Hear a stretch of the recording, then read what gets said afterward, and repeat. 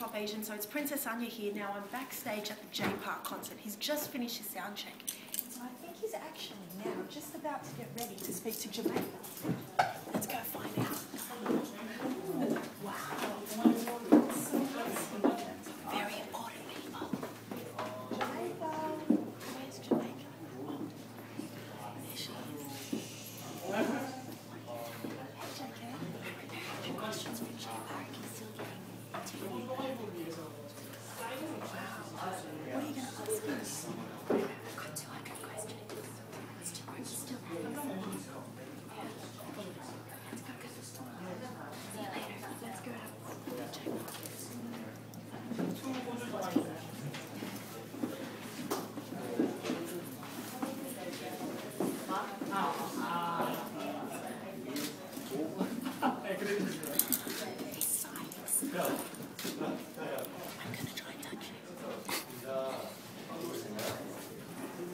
아, 바꿀까?